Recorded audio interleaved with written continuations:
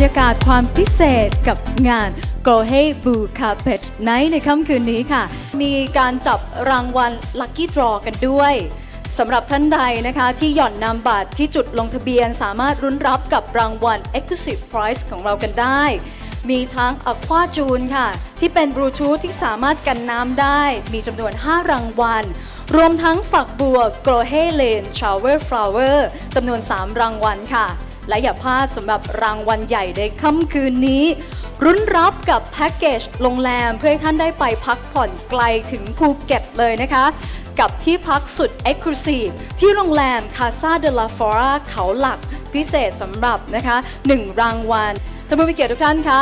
ขอเสียงปรบมือต้อนรับคุณสิทธิรัตน์วัชรพรค่ะ กล่าวเปิดงานอย่างเป็นทางการนะครับ แล้วก็นอกจากนั้นเนี่ยผมอยากจะขอเชิญ ผู้บริหารของบริษัทโกรเฮประเทศไทยนะครับ ขึ้นมาร่วมงานเอ่อขึ้นมาร่วมเปิดอย่างเป็นทางการกับผมตอนนี้เลยครับ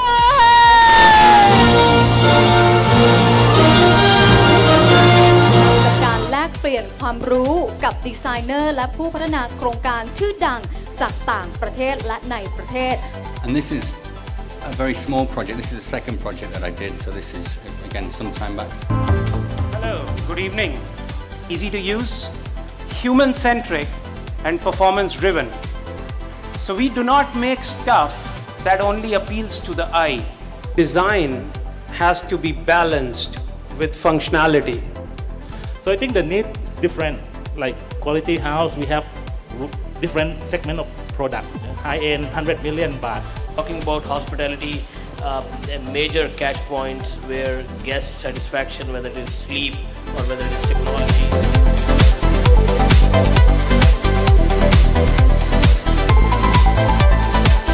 ค่ะ เริ่มเลยดีกว่ากับช่วง Lucky Prize ของเรานะคะ